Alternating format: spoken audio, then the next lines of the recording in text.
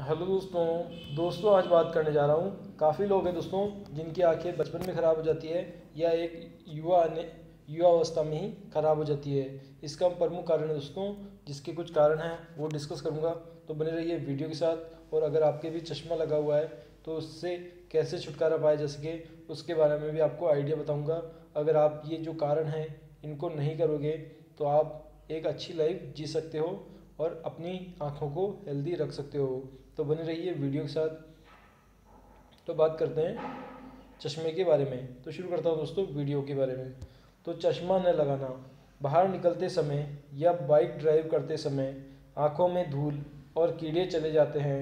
इससे आँखों में इन्फेक्शन और एलर्जी होने की आशंका बढ़ जाती है। इसलिए दोस्तों कभी भी बाइक ड्राइव करें तो उस समय आपको चश्मा लगाना है दोस्तों। नेक्स्ट बात करें स्क्रीन पर लगातार देखना, रोज़ कंप्यूटर, मोबाइल या टीवी की स्क्रीन पर लगातार कई घंटे तक देखने से आँखें खराब होने की आशंका बढ़ जाती है। तो ऐसी गलती आपको नहीं करना दोस्तों। नेक्स्ट है, आँखों को रगड़ना। अगर दोस्तों आप अपने आँखों को रगड़ने से आँखों में जो बैक्टीरिया है, वो आँखों तक पहुँच जाते हैं, हाथों की जो बैक्टीरिया है, वो आँखों में पहुँच जाते हैं और इससे आँखों में इन्फेक्शन और एलर्जी का खतरा बढ़ जाता है। नेक्स्ट, आँखों को न धोना। दिन में कम से कम दो या तीन बार साफ़ पानी से आँखों को धोना चाहिए। इससे इन्फेक्शन होने की आशंका नहीं रहती। अगर आप नहीं धोगे तो इन्फेक्शन होने की आशंका बढ़ जाएगी। इससे दोस्तों, आपकी रोशनी भी असर पड़ेगा। अगर आप दिन में दो तीन बार अपनी आँखें धोते हैं तो आपकी आँखें स्वस्थ रहेगी। नेक्स्ट बात करते हैं, दूसरों का चश्मा यूज़ करना।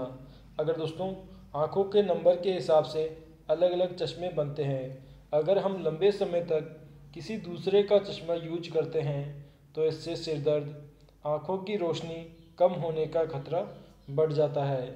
इसलिए कभी भी दोस्तों, दूसरे का चश्मा यूज़ नहीं करना है। नेक्स्ट है चेकअप न कराना। अगर आँखों पर चश्मा लगा है और लगातार दर्द होता है तो चेकअप नहीं करवाते तो इससे प्रॉब्लम बढ़ जाती है। नेक्स्ट बात करते हैं, एक्सपायरी दवाओं का यूज़ करना। आँख में एक्सपायरी आई ड्रॉप्स का यूज़ करने से इरिटेशन और एलर्जी जैसी प्रॉब्लम होने लगती है।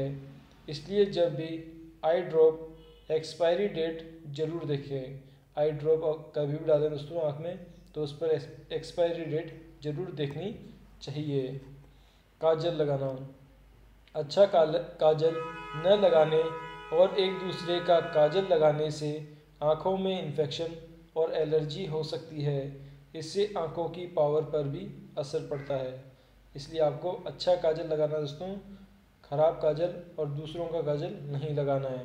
अगर दोस्तों आँखों की ये गलतियों से रिलेटेड ये वीडियो पसंद आया तो प्लीज़ चैनल को सब्सक्राइब कीजिए और इस वीडियो को अपने फेसबुक और व्हाट्सएप अकाउंट के माध्यम से अपने दोस्तों को भी शेयर कीजिए दोस्तों।